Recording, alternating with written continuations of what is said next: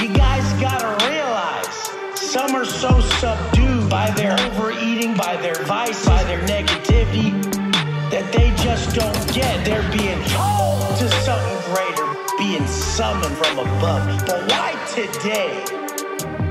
Told to something greater, being summoned from above. But why today? Why today was I so fucking negative, so angry and frustrated? Perfect.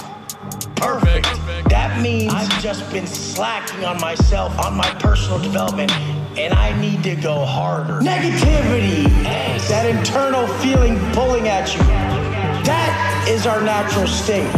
That is our natural state. We're being summoned to move. Negativity, that internal feeling pulling at you, that is our natural state. That is our natural state to move.